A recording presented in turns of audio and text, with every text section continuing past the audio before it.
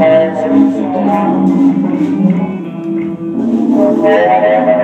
like to take y'all on a journey through the jungles, over mountains, through the sea, to taste the cold.